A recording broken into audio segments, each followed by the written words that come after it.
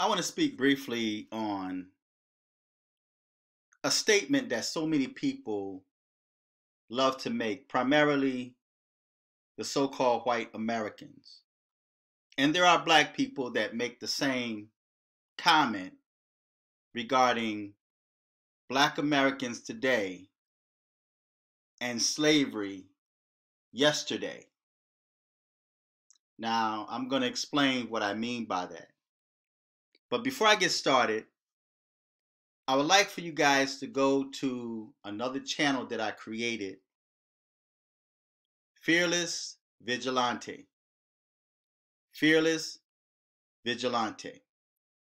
And I believe the link is on the bottom in the description page. And if you enjoy the videos and the information or topics that I speak on, feel free to leave a donation. And I just want to give a shout out to those that have donated to this channel. I really appreciate that. You don't have to. You didn't have to.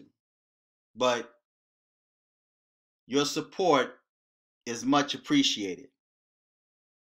Now, the comment this woman made, and this is a dear subscriber of mine. She's been subscribed to me for years uh, when I had my Fearless 2005 channel uh, before I deleted it. But this is what she said, and, and, and what she said is absolutely correct. I agree with everything she says. But there's a small portion of what she said I hear so many people say, and I briefly want to speak on it. Hence why you see this photo on this video.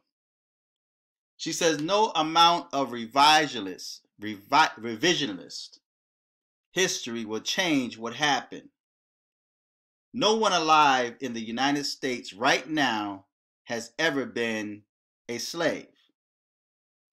Your generation, now, before I go on, the only people that have been enslaved here in America, outside of uh, those that's being trafficked over the border, sex trafficking of little children, and even adults, but mainly young people, are being sex trafficked and sold into sex slavery.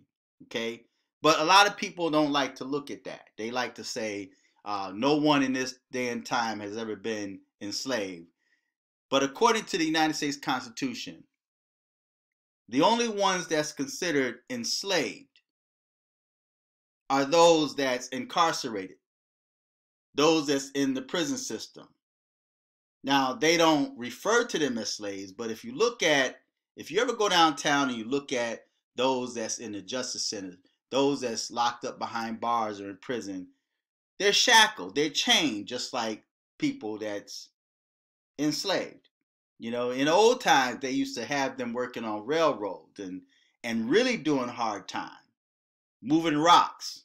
You know, I mean hard time, hard labor is what they used to do. I mean, when you did a crime, you had to pay for that crime, and it sometimes even uh, losing your life. You know, capital punishment. Okay, but no one in this time is enslaved or has been enslaved except for those that's in the prison system. And it's because of the fact that they committed a crime. And what also speaks to this topic is there's many young black men that's in the prison system that's innocent, that committed no crime, but somebody, you know, pointed at them in a lineup or some white woman pointed and said, he's the one and in reality it wasn't the one. Or a white woman said he did it because she was trying to make her boyfriend jealous after she chose to lay down and sleep with that black man. So black people to a certain degree are still targets here in the United States. Okay? So I'm going to read the rest of what she wrote. Your generation is the wise ones and lived through the tough times.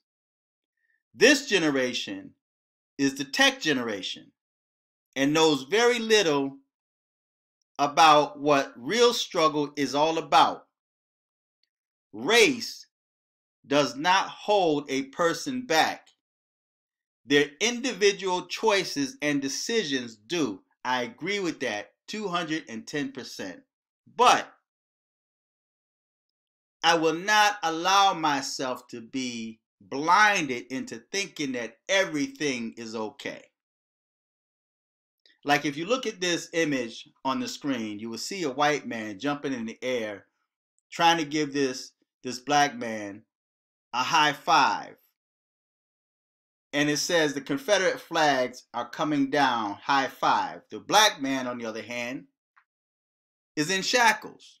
Shackles around his neck, his hands, his feet, with the tags voters ID laws, police brutality, inequality, mass jailings, which of course came under the Clintons. Of course, no one in this generation has been slaves. But black Americans are dealing with the debris, the debris, of slavery. For some reason, my tongue is tied today, right? But we're dealing with the debris of slavery. Yes, my generation went through the Jim Crow, the civil rights movement. This generation is still dealing with the debris of slavery, police brutality, inequality, even in the justice system or injustice system. You find that whites and others have more rights than blacks do for the same crime. You have a white woman that would get caught with a pound of meth. I don't know how they weigh meth, but I'm just going to say a pound, right? Don't know much about drugs. But then you may have a black dude with, you know, a roach in his car, weed. He'll get like five months. She gets no time. So there is injustice when it comes to black and white. And there's a lot of old slave laws that's still on the books. There's a lot of old slave laws. California just recently got rid of one, and I give them credit. I applaud them for that.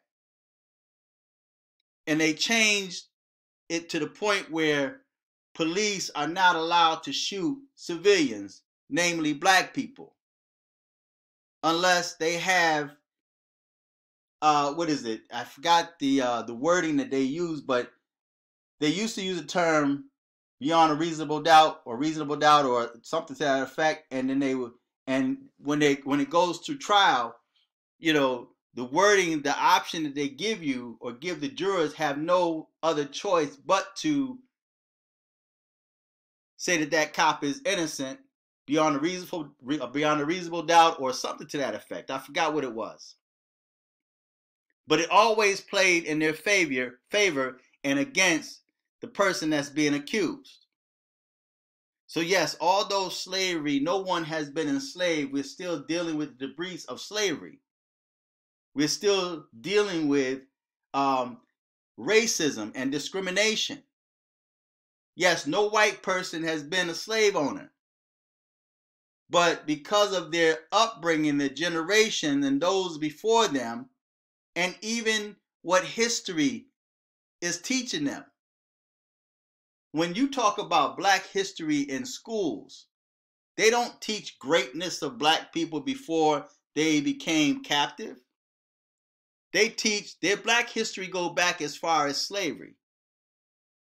And if the teachers do touch on, you know, the greatness of the so-called Africans, I'm going to say Africans, right? At that time period, they're going to say, yes, this person was great. They did this, but they were a slave. They're going to always bring it back to slavery. They're going to always remind you that you are a slave, that your people were enslaved. So, yes, we have more opportunities now than ever and unfortunately, many black people don't take advantage of that. We see so much ratchetness on the internet in real life, black on black violence and crime, no one cares if black people kill black people. They've always been doing that. But then when the mass shooting started and their children started dying, then it became an issue. They start talking gun control. And black people jumped on the bandwagon. And not realizing that gun control does not affect the black community because the criminals still have their guns. The criminals are still killing black people, blacks killing blacks, police killing blacks. So while you joining forces and saying let the illegal immigrants in, you have black women in these Asian nail shops are being disrespected by the very people that they're paying their money to. That they support, but they won't go to a black hairdresser. Or they'll find fault in that black business. But yet, right after they finish being discriminated against in these uh, Asian hair uh, nail shops, the next day they're right back in there giving them their business. So that in itself is the debris of slavery. Yes, no one has really been enslaved in this day and time, with the exception of those that I mentioned earlier. No one has been a slave owner, to our knowledge. Because you have people like Kamala Harris, her ancestry are slave owners. But you have so many black people that still support them and still on the Democrat plantation. And I have to bring that in. Because that just goes to show how ensnared and enshackled the black mind is. And how they remain on the Democrat plantation because of generations of slavery or leading back to slavery. So, yes, this young lady is absolutely correct in everything she said.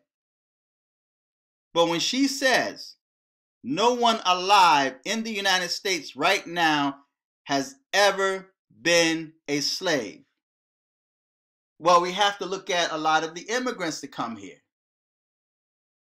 We've seen articles where Africans are still being sold into captivity.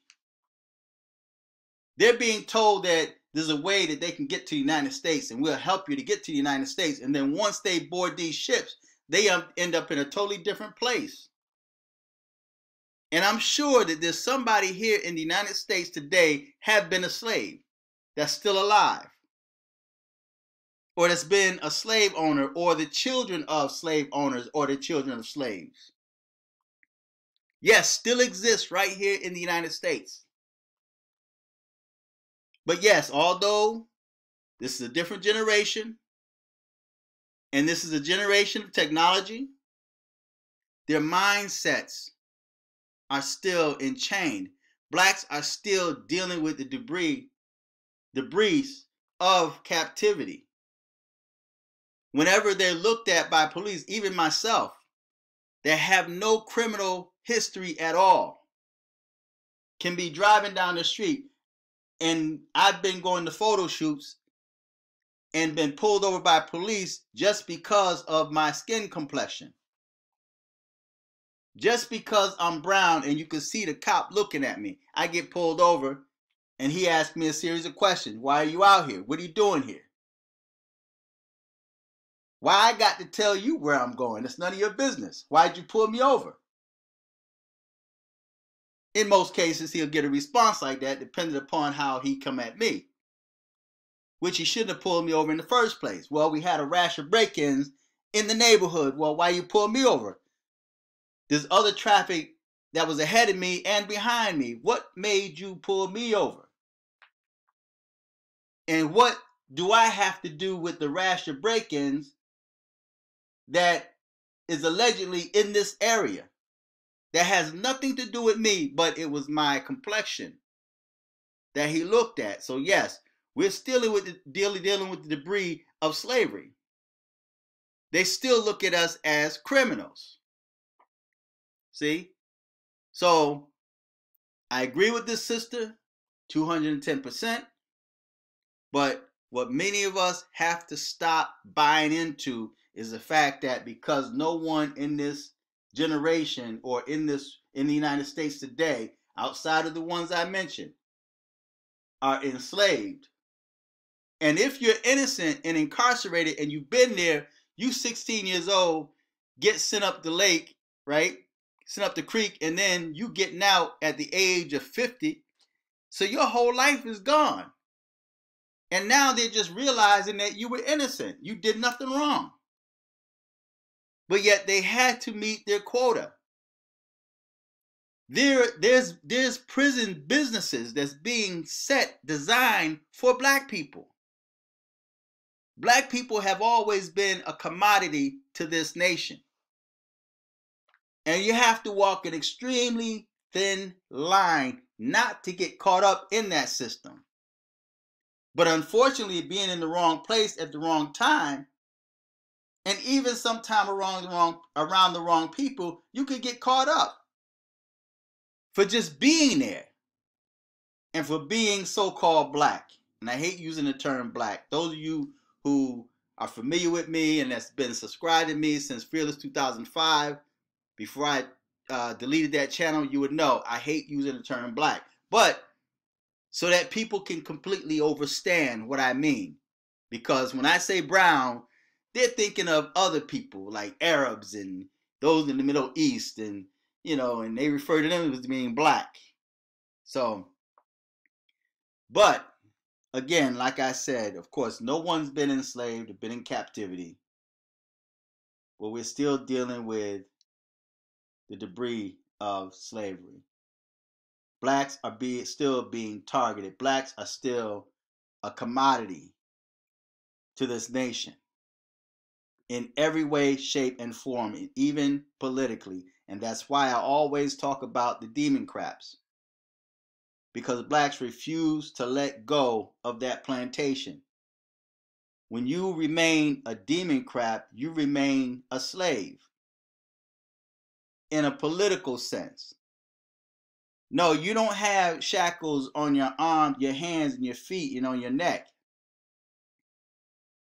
But when you have chains on your mind, it affects your hands and your feet because then your hands are now politically tied. Your feet now are politically tied because you're so dependent upon the system itself because of that mental slavery because of those mental chains, now you refuse to do for yourself and to do for others that look like you and to support others that look like you for the fear of someone that looks like you might have or get a little bit more than you.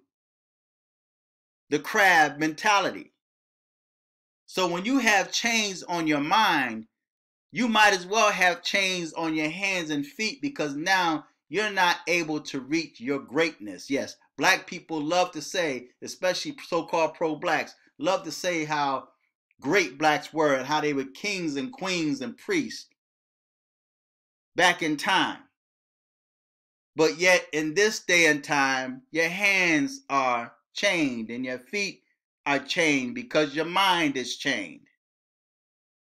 You're like that elephant that's been caged for so long that when they open the cage door, the elephant remains. He remains as big as he is and as strong as he is, he remains because he's not he doesn't even realize that he's free. His mind is still in the cage. But the door is open. He's free to go. He's free to roam. He's free to reach his greatness. But blacks will never reach their greatness until they loosen the chains on your mind and leave that demon crap plantation that destroys you. So enough of that for now. Feedback. Tell me what you think. Until next time. I'm fearless.